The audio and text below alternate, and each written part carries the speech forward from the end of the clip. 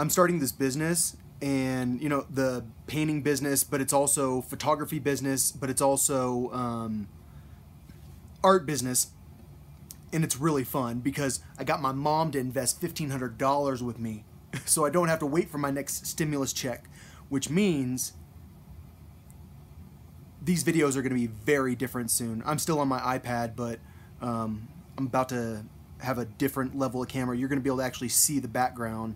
Very fancy. Got a Nikon, um, like a like a very fancy full frame Nikon.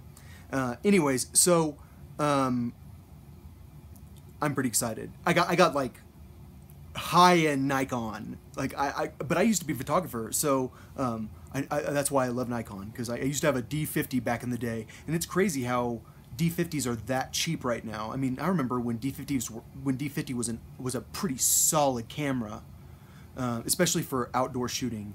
Um, anyways, so um, what I was gonna say is, uh, I think that what they're thinking about COVID nineteen is that there is seasonality to it. And so um, everyone is saying, well, we're going to have a, a, wave hit again in the winter. And what seasonality means is that um, when when with the seasons things change things change and so a lot of the time when you're doing statistical models you'll use um, like the sine wave and that represents seasonality um, like it's it's part of the function when you're trying to predict um, what's going to happen and so uh, right now there's an assumption that there's seasonality associate, associated with COVID 19. But my understanding is that um, there were people in Malaysia that were getting COVID 19 um, when it was summer there, even though it was winter here, because it's it's pretty much because they're um, on, the other side of the world, so they have different seasons than us, just like I think Australia does right? The, the toilets flush backwards there. I don't, I don't, I don't who knows if that's a myth. Um, but all I'm saying is, I think that's what why they're talking about opening up the economy. Um, personally, I'm like, well, now I can start a business. I, would like the economy to be open, but then I'm also going, well, I'm about to go and um, be in crowds.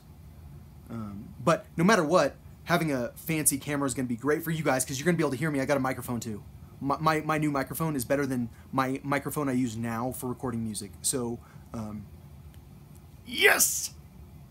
It's like Christmas right now, which I shouldn't say yes because I know everyone's really sad about COVID 19, but yes! You have no idea. Like, I think the key is when you have enough money to start a business, like you actually have enough to to put in to take care of the overhead, you do it.